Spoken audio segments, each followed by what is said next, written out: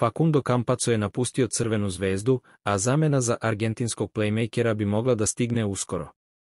Crveno-beli imaju nekoliko opcija za poziciju 1, pominjala su se imena Kevina Pangosa i pogotovo Šabaza Nepira, obojica Olimpija Milano, a moguće je da pojačanje stigne direktno iz NBA lige. Na meti crveno-belih se nalazi i reprezentativac Francuske Frank Telikina, 24 godine, 193 cm, koji će biti deo selekcije trikolora na predstojećem svetskom prvenstvu.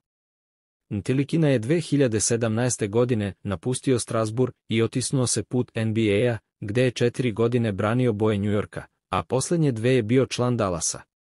U najjačoj svetskoj ligi beležio je prosečno 4,8 poena i 2,2 asistencije u 316 mečeva regularnog dela sezone.